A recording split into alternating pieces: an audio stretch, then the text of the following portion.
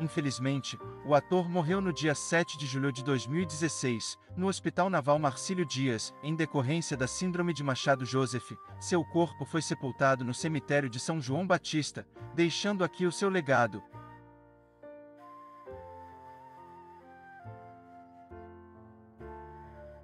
Essa foi mais uma história, a história do grande